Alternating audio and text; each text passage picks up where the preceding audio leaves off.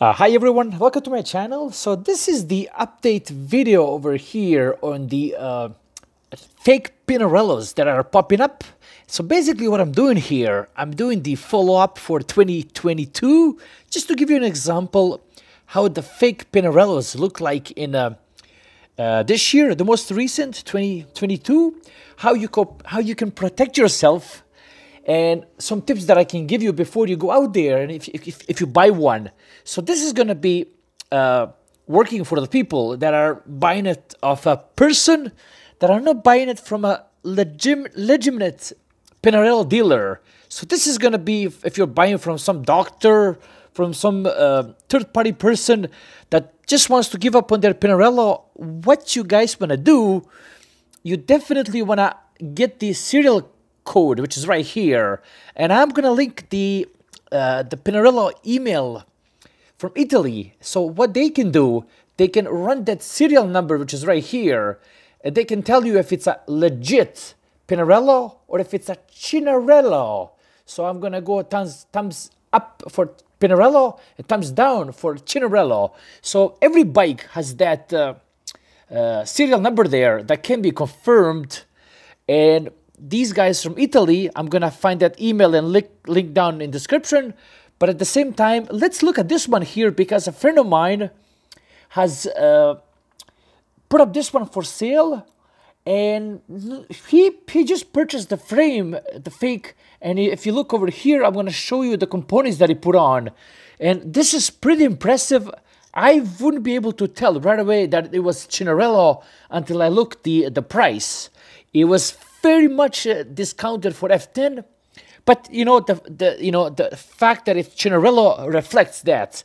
So if you look over here, he's got really nice wheel set. You see, uh, saddle, uh, uh, Arion, really nice.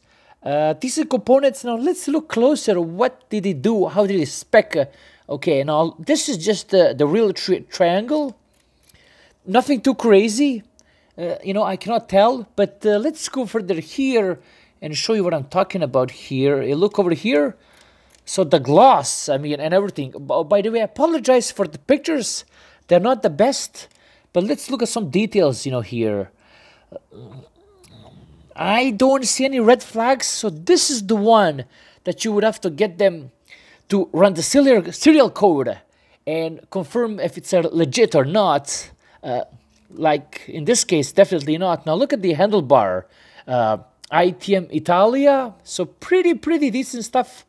Uh, the front Pinarello uh, logo on the uh, top tube, on the front tube, is just, I don't see any difference there. Oh, very hard to tell, but I let you, I let you zoom in so you guys can see what I'm talking about here. This is as good as it gets for 2022. Okay, and now let's look Oh yeah, this is the picture that I'm looking for. Now look down there. He has specced out this uh, Chinarello with a really nice Ultegra group set. And in my old video that some of you were commenting, I said that usually they come up with a lower end group sets. And as you can see for this year, that is not the case. So he's got the second best after Dura-Ace. It's Ultegra. So he's got the second best group set on this fake bike if you if you may see what I'm talking about. Now let's go further down. Now the back here, everything is, you know, uh, Ultegra. Uh, he's got the calipers Ultegra, uh, mechanically driven uh, Ultegra group set. And then if you look over here, uh, he's got the, the levers. So everything on this bike is, is uh, you wouldn't be able to tell until you ran that serial code, which I will give you their email in Italy and they usually get back to you pretty quickly. So hopefully, hopefully, uh, I'm just you know running these pictures, and I do apologize again for the quality, but just I'm gonna give you some overview for 2020 to what you can expect and how good these are, these guys are getting.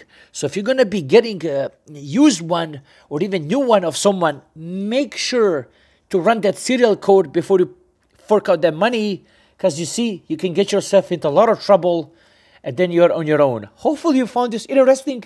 Like if you found it interesting, subscribe and take care. Bye bye.